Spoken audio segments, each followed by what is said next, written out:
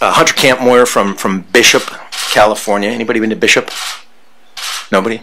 Just kind of on the east. Oh, half hand raise. You don't want to admit it, or I've been what? there, Okay, kind of on the east side of the Sierra Nevadas. Uh, I think I think pretty close to Mammoth. It was it was uh, unbelievable vistas from from out of there.